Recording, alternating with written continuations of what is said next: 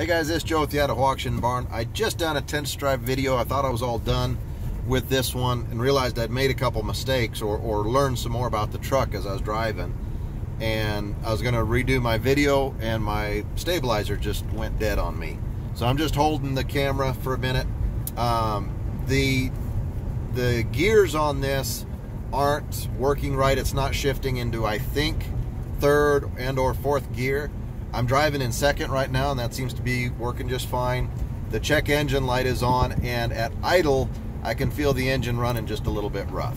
Um, driving down the road, I couldn't tell any difference, like anything was wrong. But when I was sitting there idling, then I could feel the engine uh, just a little bit rough. The uh, driver's seat has a hole kind of chewed out of the back of it, but um, it's it's a little rough. I'm going to take some pictures of it.